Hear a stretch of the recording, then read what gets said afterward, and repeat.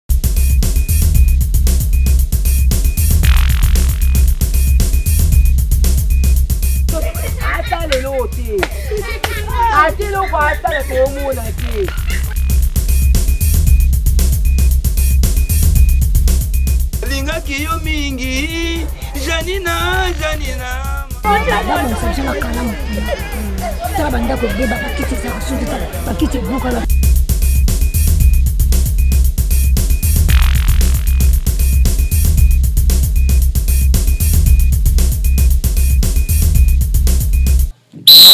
match esi ebandaki avec ye moko le descendant prophète kimbangu na mabele na tora le grand cameraman moto akota na nkunda lazare abimisa baimage ba nazoloba yango chaque fois soki oza na souffle te mibimela deya na terrain mpo match ekomi mobulu ya dega na dega danze makasi nde kaka na makasi nalobi be makasi kaka na makasi tokiti na lemba tozwa baimage oyo mosala ezosalema buka mona buka kwikila tora toleka La Fondation Maloua FM applique la vision de partage et d'assistance en faveur des différentes couches de la population.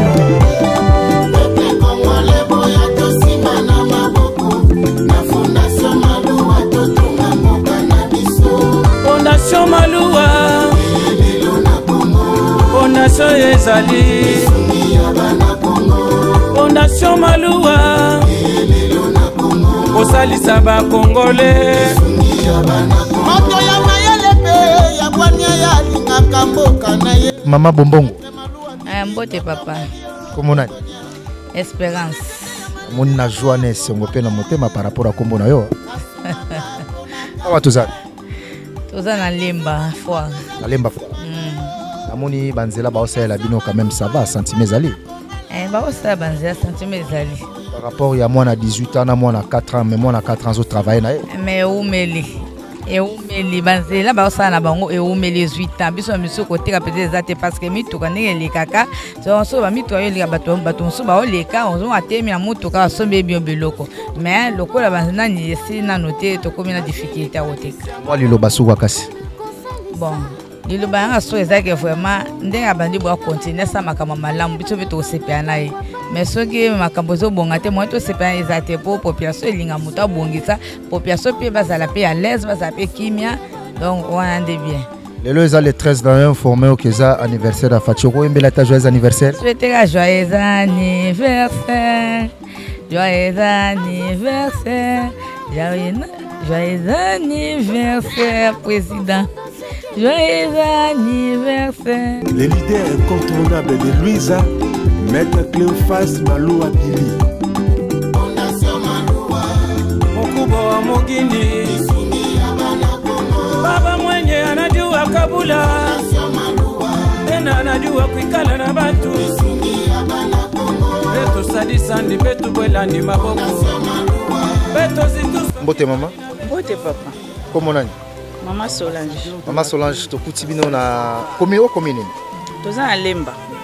précisément na quartier nini toza na lemba foi quartier de l'école tomoni baosalela bino nzela esengo nini oza nango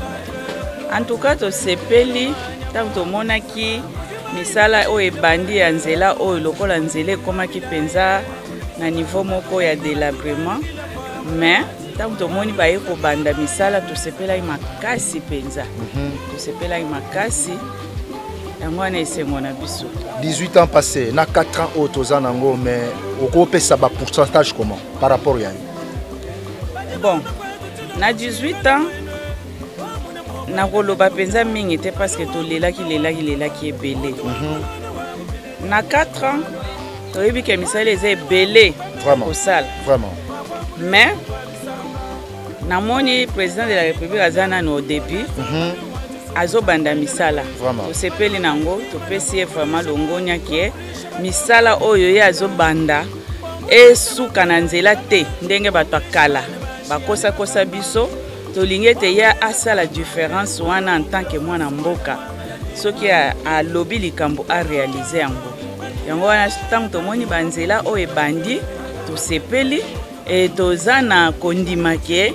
vraiment poursuite na yango ekozala mpenza kitoko liloba ya suka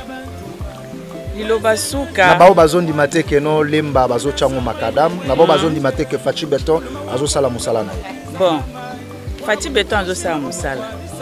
mais nazomona ke bato baza mosusu pembeni pembeni na ye baolinga recette ya chef bazangaka kaka te bazwa carton rouge yango wana tolingi ke fati ye moko atelemaka atambolaka ntanke mwana mboka hmm, afanda mpe na lemba no afanda mpe na lemba okay. mokengeli eza esika ye atanga voilà yango tolingi hmm. aleka mpe alekela biso na banzela oyo omoni banda babandi nzela oyo toza na 6 mois déjà tokende 7 mois mais jusque là banzela ekomi bloqué snel nde snel fati atala likambo ya snel mm. soki bokozwa baimage botala basinga ndenge eza na nzela oyo na minute oyo quartier oyo nyonso eza dans le noir parce que snel abloke bato baosala nzela moyen bakontinue eza te donc tokómi na stade ya suka ifo batya makadame mais ezozanga nde basinga courant tala basinga courant ndenge eza esi ebeba banda belge atika esengi ke ba remplacer babandi kobelela babandi kobelela snel snel alingi kopesa bakabsikoyo yebisa sikoyo mokonzi ya snel ndenge aza wana nazoloba na mokonzi ya snel papa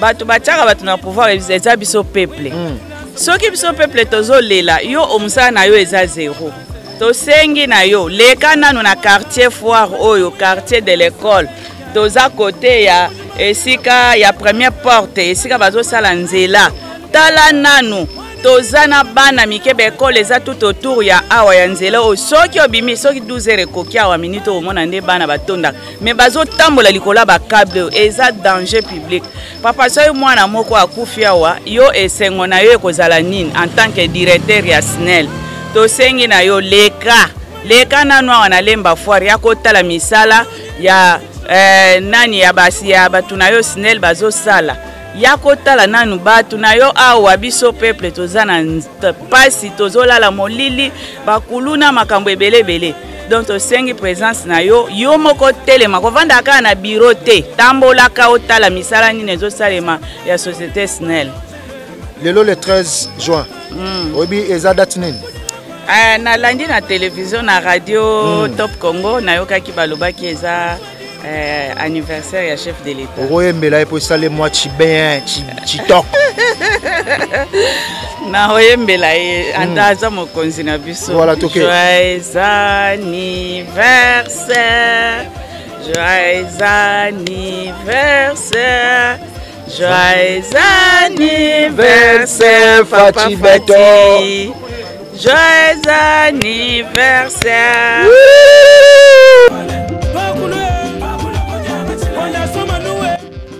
mais komwe basaleli bino makadam esengo nini ezali ah, oza na esengo makasi mpenza oza na esengo makasi ya kosala okomona makadam nde bazosala mais hmm, biso aka ah, courant mpasi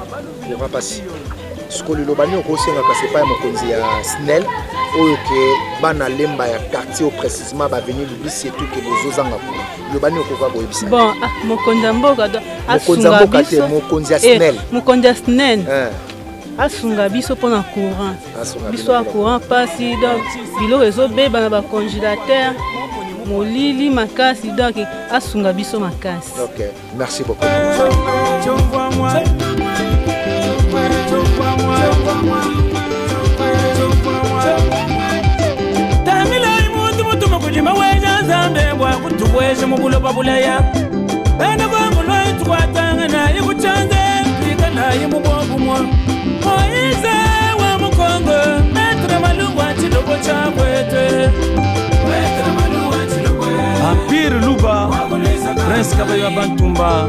comba ca bululu wadi kasai mbote ndeko je m'excuse pour ça nawa kombo nani kombo na nga omo lumumba omo lumumba oui. euh, oza moko moleki nzela to oza oyo ozotya loboko na kati na esika oyo nazali moko ya baye bazali kosala mosala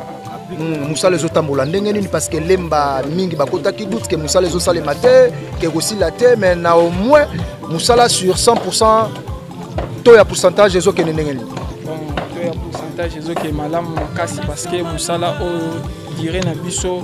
lolenge tobandi yango jusqu'alors towumeli vraiment te mosala ezokende baye bakoloba bongo baza bajaloux mosala ezokende malamu tokutaki teresa marikage efalaki tokita profondeur ya 1 mètre totya bamoelon ya minene mabanga ya minene na se lorsque tokutani na ba régie des eaux ba tout ba ba batio ya courant bamakambo ebele efrenaki mpe mosala mpona bacanalisation ya mai wana badevie yango lorsque basilisi soki botali bien tosilisi déjà totikali sikoyo na position ya kotia 031 pour ke totya chaussée na biso liloba nini okoka koloba par rapport ya bana mboka oyo bana lemba oyo bazozela mosala na bino jusque dele eza camp oyo fale misala esila esila bon oyo tozosenga bango ezaka bazala na patience eloko ya qualité esengaka ete ezala na lombango te esengeli na biso bapesa biso presque un mois mpona kosilisa bafinition nyonso kosalela bango misala nyonso oyo etikali mpo toza deja na kushe ya suka il faut batya beton na espace oyo nyonso totelemi eh, pour que mosala esila et puis na conseil mosusu tozosenga bango na bacarniveau na bango ya kitoko oyo basaleli bango babwakaka vraiment basalite surtout ça surtout ça betela yebisa na bango eh, eza vraiment mpasi na comportement tozomona na bandeko na biso bacarniveau towuti kosalela bango eza mpa meme na 6 mois mais lorsque toza nanu biso tokobanda kosala Eh, clean clean oyo oh, biso tobengaka clean clean mpo na kolongola salite chaque euh, semaine mais bango bazobwaka salite bamilangi ezokota na kati ya carniveau orke ntango carniveau ekobouche na babeton oyo batyeli bango na baentrée ekozangisa bango moyen bandako na bango ezala kimia mpo carniveau ebouche mai ekomi kosalela bino baretour tozosenga na bino nyonso bana ya lemba bozala vraimen na bolingo ya oyo basaleli bino ezali beauté ya ba mapangu na bino secteur na bino kote oyo ezala bien c'est que batela carniveau conseil vraiment batela carniveau liloba suka liloba ya suka ezali ke bandeko batika vraiment kotia bosoto na carniveau yango liloba na ngai ya suka me naloba eloko moko vraiment esali nga mpasi bana lemba bofongola matoi malamu nakopesa bino rouge so bozotambwisa yango bien te na lingala babengi yango terase terase oyo basaleli bino kozwa te poubele na yo ya salite oyo ya kobwaka yango awa non naopesa bino na jaune ya koavertire bino ke boyeba ke mosala yango bota bosala yango nde malamu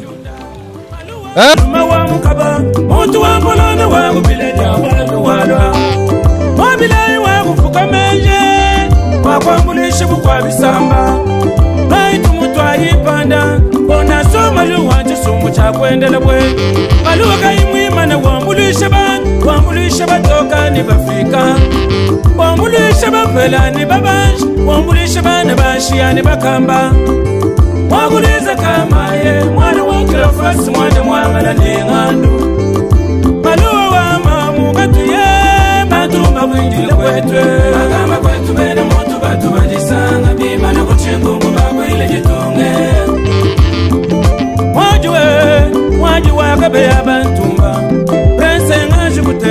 mbote mama ah, mbote papa komonani mama zizi na nza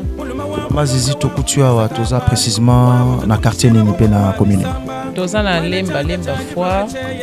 Hein, quartier de la foire toza juste na couloir oyo oh, direction euti kimbanguiste ebimi ti tokende icolok hmm. tozomona banzela baosalela bino quand même mwa sentiment joie ezali ah oui joie ezali parce que nzela ezalaki vraiment mabe du fait que embouteillage ebandaki kozala plus na direction oyo euti lemba foire kobima ti super lemba tozalaki na route moko antuke bando créer bambouteillage makasi so tokomi 17h 18h mituka ezoluka nzela nini ekoleka ebandi opesa mpasi me tosepeli na initiative oyo ya chef de l'etat ndenge asali ke banzela ekota na bacouloir nyonso ya lemba donc nzela oyo euta banda na coin wana ya direction ya ya kimbangiste ezwi prolongement ikoloke ebimi ti eke vers commune ya lemba commune ya lemba ebimi ti terminus en tout cas eza vraiment idée moko ya bien tosepeli na courant koto quand même ça va to mai te courant eza vraiment un peu pasi mais mai ça va courant eza vraiment pasi parce que donc toza vraiment plus na besoin nde ya courant mpo na bainsécurité eza koto oyo insécurité eza vraiment koto oyo na batinele na biso tellement lembe eza commune moko eza vraiment beaucoup na batinele donc na système ya batinele na biso wana ecreelaka biso vraiment mabe mabe makasi mais soki courant ezozala na yango ya mpe stable ekoba no rendre biso quand même vie bien mais vu que soki ba 17 h 18 h courant eza te ndeti biso toteka awa tozala oblige 17 heures mpo bokanga biloko mpo boko riske mwa 19 heures bana nde bazala na tinel awa okotinda mwa na tinel o te soit bakobotole mbongo bakobotole telefone bakobotole eloko donc ezala vraiment mabe bakuluna bakotaka na tinel oyo lokola mpe molili ezalaka eh, miso mwa courant eza te ya deux fois eyaka nango mais courant vraiment surtout na butu soki ezozala stable ezala bien chef de l'état soki akozwa mwa initiative wana tosengaka kutu na biso moko batiela biso ata mwa susi ati apo ah, eyendaka biso mais jusque là tomona suite te soki bakotiela biso mpe baéclairage public bakotisi yango ntina batinel oyo eza mpe bien lelo toza le 13 eza date ya chef de l'état anniversaire na ye eske moi joyeux anniversaire esala moi c'est bon mm, joyeux anniversaire mwana nga mpe abotama lelo eh, le 13 paci beton mpe ya moke eh, ya moke ya mwasi cadete na ngai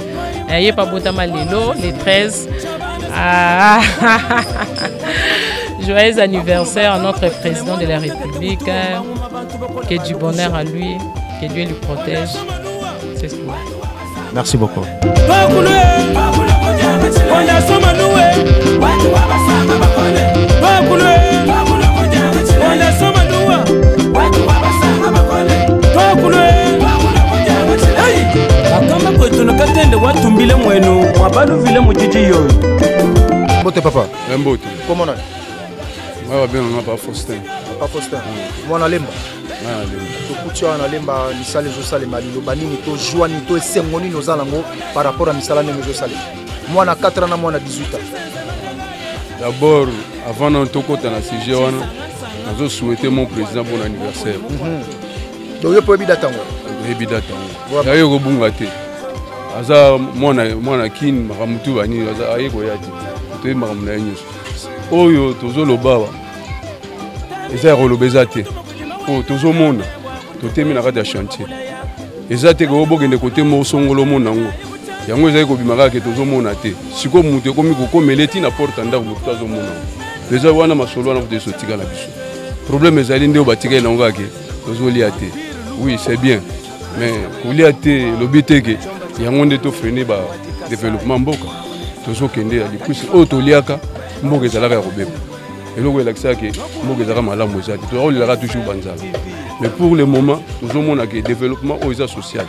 oyo eza komema biso ekosisa biso na banzala kuse so biloko ebandi kobima ebele a partir ya nzela na banji tokozala malamu nzala so to olela yango ezaka na kishasa ezaka na kishasa me na bamboka kuna boye nzala balela yango te mpo bazolia na bango bango susi na bango nzala na bango eza nde baoyo batonga yango banzela baekole banini to kosolo alors euh, acontinue na kosala babiloko azosala vraiment en tout cas aza na adversaire te adversaire aza te adversaire aza te 18 ans na 4 nana abeta moninga ah papa wana eza ya kotanga te ye déjà nana 4 ans mpo bako compare bango te to ye aza nana 4 azonguluma nano mais tozomona espoir ezali na moto oyo asalisa se de 18 ans tomoni eloko moko te nana carton vert elingi oloba bolamu nana carton rouge elobi ke ebima nana carton jaune elingi oloba ke non keba sikoyo yo en tant que mwana kisasa tolingi topesa carton nini nana merite rouge nana merite vert bon ye aza vert puisque tozomona déjà aza na fait vert déjà donc ya kotika ye ke deuxième mandat déjà wana de affaire ya ye eza déjà na place déjà mm. donc eza kutu ya kosamba te soki nalobi ke adversaire aza te c'est par rapport ya volonté oyo aza nango nde tozoloba ke adversaire aza te meme bango moko bazosentir ke volonté aza nango aza na vitesse ya tgv alors bango bakoka suki koye te koto courant malamu bon courant ezali bien mais pour le moment eza nde likambo ya singapour ndenge bakati biso mpo na nzela hmm. mais bacourant quand même ebandi kosala kozonga malamu insécurité ça va bon insécurité na minute oyo po toza déjà na mbatawa tomoni bena kotomwa ça va bilo basuka kasi epai ya bana mboko baolanda oyo baondima te kelemba baotyela bango mabanga ya sangisa donc yo moko ozomona ngai na kolobala nga te vraiment nde tolobi ke tolobaki trop depuis ebande ntango bazoloba ke tolingi ye te tolingi ye te me biso oza oyeba sango ke moto oyo totye na suka nango bino bokoma kaka ke bon totika ye ke nano totalela ye ale suka nango sikoyo yango ekomi bon totalela ye nano eza so totalela ye te me totika ye lisusu deuxième mandat sisa nde wana atalela ye yango okay. merci beaucoup merci mbote papa ouais, mbote ndeko na ngai komonani peter olowarok Hmm, tokuti awa toza ah, toza na lemba na lemba na quartier de l'école hmm, mais bandimaki te ke no koto misala ezosalema ntango omoni tokitisi micro ya fm tv mpo tolandela mpe tomoni ke no ya solo faci beto azosala mosala mwa liloba eza nini na bao bandimaki te ah. bato bamesana toujours eza na bato baondima bamosusu bakoboya mais minorité nde bakoboya kaka la majorité tozondima mpo nzela yango oyo nzela yango oyo preuve lisusu nini oloba est ce que courant eza malamu mai eza bien ah problème ya courant nde bon courant nde aza na mwa problème ye nde sikoyo nde totikani comme ennemi hein? ennemi ya koto ouais, ennemi donc sikoyo euh, message noko lance epai ya directeur ya, ya snel oyo aza mieux placé mpo azwila bino solution bon azali nzambe te mpo ayeba baréalité ezopasse sur le terrain awa ezosenga ifo bacable batya nde bacable ya sika batyela biso lisusu transformateur ya sika oyo ekopermettre mpona kosoulage lisusu koto baprojet bamama namoni baterase bazosala tobengi na lokoto ya lingala baterase yango oyo ezosala mosala ezosalema bien conseil nini okopesa bamama en général ya lemba bon eza kaka mpona bamama te eza meme biso bapapa biso mpe totambolaka omeli mwa ji obwaki molangi na, na caniveau caniveau ezoservir mpona passage ya mai mais soki ekomi ke biso moko tokomi kobebisa lisusu evre donc mawa tro eloko nde tozoyoka mpasi yango wana soki otali na minute oyo olandeli okomona ke ka niveau deja bandi deja kobeba avant même inauguration ya eloko yango lelo le 13 nayebi te so ozoyeba date wana ah, lelo nayebi joyeux anniversaire joyeux anniversaire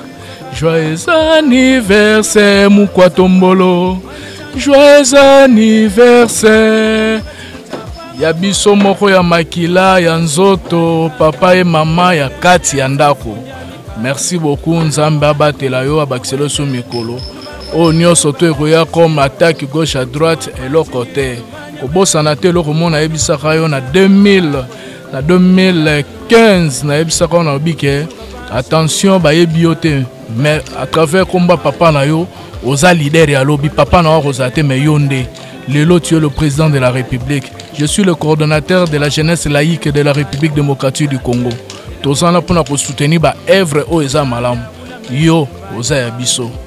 on est toujours de cœur avec toi mais yo olobi eloko moko ya prophétie esali nga esengo oh, mais mosusu aprophétisaka mpo na ye mais yo prophétisaka depuis 2015 kaka ozalaka chef wewe est ce que asa luka yo aluka ah, nga nanu te aluka ah, nga nanu te opportunité yango oyo ayebisaki nga soki awuti poto ere akozonga tokosolola mais aujourd'hui il est président de la république joie eza kaka te ka il faut abenga ngai esengo eza ke il est là reve ekokisami babi kozala motema mabe te na oyo ya moninga mpo lobi oyebi ta mosusu mpe lobi ngai mpe après ye se moi na bayini ya faci bazwa rouge bazwa jaune to bazwa vert bango bazozwa moelon ya rouge ya monene mwana jitu bakuinjila tatwe chikoba mbote papa eh, mbote papa komona nini eh, komona nga papa didier papa didier papa didier mwana lemba mwana ngaba me na lemba nde mabele na nga lemba mabele na me mosala yango bazosalela bino esengo nini oza nango en tout cas ndenge balobaka ke soki moto asali bolamu ifo kondima ye mhm. na nga nazali kotala bandeko na nga nde basala makambo ya nzela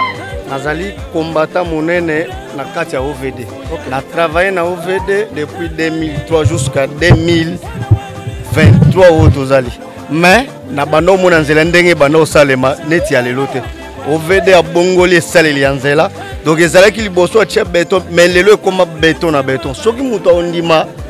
papa faci te donc aza congolais te donc faci fazo ana ver donc donc limbisa ngai hmm. tosali kan kokolo ti mozole ezalaki ovd na bachinois tosangana totikali komona esaleli ya boye te nazoyebisa yo donc soki moto akondima faci te nayebisi yo aza congolais te oh, faciooyo akondima faci te aza congolais bamérite na rouge aza ennemi ya congolais voilà très bien donc mosala ezosalema tous les quatre coin ya commune ya, ya, ya, ya, ya kinshasa donc mosala ezomona ke faci azosala soki olandi kianza ti kapela donc ezalaki liboso bakosi biso na mwa coudron batie mabanga me lelo tovandeli ovd tovandeli mpe makambo ekoma beto mpena elambami beto nsima mabanga tosopi donc nde ozomona mosala esalama donc nzela ekokufa lisusu lelo te mais bato bazoloba ke no libumu nzala fatika nzela nzela meme jésus mwana nzambe ntango ayaka batikala kondima ye te ti akufaka bamosusu aza mwana nzambe bamosusu amwana nzambe te baye kondima suka liwa na ye ke amwana nzambe ntango asekoki mais soki asekoka te bamosusu babenga ye prophète donc tondimaka mosala papa azosala na na carton carton vert eza mpo na bato basala bolamu na na carton rouge eza carton mpo na bato baondima te balongwa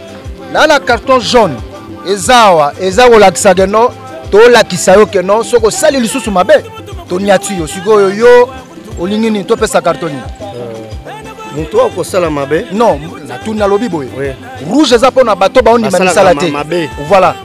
vert eza mpo na bato bazosala bolamu sikoyo yo ozoloba ke faci azosala bolamu do amerite azwa na carton vert c'est ça do afo azwa carton vert tora malembe sikoyo rouge eza mpo na bana rouge eza mpo na kopesa bato oyo baza kondima bolamu na ye te mpo bolamu eza te ke nalobi na bolamu mpo apesa ngai eloko non bolamu ezali oyo misu na ngai emona nde nalobake donc bolamu ya moto oyo aza mpo na interet te donc aza mpo na kosunga bandeko ne bakongole olobi ke oyo azondima te seke aza enemi ya kongole aza kongole te nasenga na moto aza nzoto mikeleke te wana nga te bana kisasa nde baloba oyo azosala lokola amenace eh?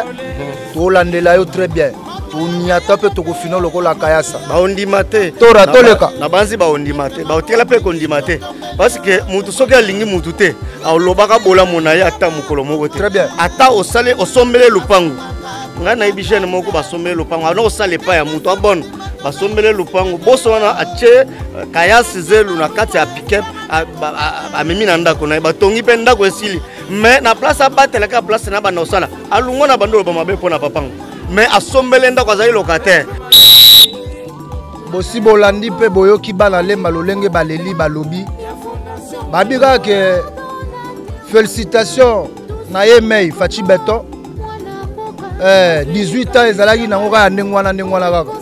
mais 4 ans costo misala emonana na ndenge ya nkuku force tranquille basengi na yo monsieur le directeur ya snel meke mpe kolandela nanu biloko ya mike mike mpo tombolaka vision chef de l'état kua endusa eyalaka eh, oyo bakulutu baloba zelenski zakari bababaswe joueur ya kikere aganaka na kipakapaka apeselelaka bino mpe aloba yango toujours tolanda linie wana eh, bana lemba baosengaka keno bamama oyo bazoteka bamama bazalaka pembeni pembeni oyo babengi lokoto ya lingala terase boyeba ndenge ya kobatela yango ka bamama lemba mpe kaka te me bamama ya ville ya kinshasa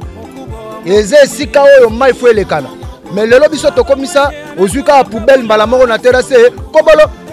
bapekisi yango soigne ntango ozolinga bopeto na nzoto na yo banda mpe kolinga mpe tout autour no ezala mpe malamu bazwi ba jaune bazwi ba rouge bino moko bomoni ya koloba nini biso tokoloba kaka te na remercie kaka maître bili maluwa cleofas force tranquille nabengaka ye nde moto asalaki ke mpo biso tomonana matosi ezala na terrain eh, ntango apesa loboko ya gauche droite eyebaka te ntango droite azozwa moyen gauche eyeba ikeleve mbote mingi na tora le grand cameraman moto akota na nkunda lazare azwa baimage yo okotuna akota ndenge nini akota ye kaka ko bongo yo okota kuna ndenge nini mpo to akota te akotaki na nko système yango ezanga yango nazoloba yango ke soki kaka ke souffle eza te kokɔta na match oyo te mpo kozwa rouge naosenga na bato bana souffle mpe énergie ya danger bobeta match mpo kenga nasala nini na siffle mbote mingi na général john cibangu oyo ngai nabenge général eh, ya bopeto koleka eh, john cibangu mosala kitoko général ebwa faustin motema mama titi napesi mbote mingi na monsieur le directeur financier michel chimbai chibichabu eh, yo nde napesi mbote moninga kofika kintima kambisi napesi yo mbote napesi mbote mingi na mama rit eh, mulemba mama lemba dubai mama dubai elobi kete etikanga sans oublier napesi mbote mingi na baoyo yanga onesime mpo ntumba opj eh, motema ya mama tania yo oyebi ka boza ebele motema mingi napesi mbote mingi na bayini na nga bango mpe bayilinga yanga te napesi bino mbote mingi